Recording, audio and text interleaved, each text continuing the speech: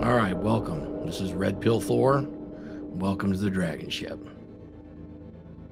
We're going to read from the Book of Odin, and today, just a short excerpt from the Book of Odin.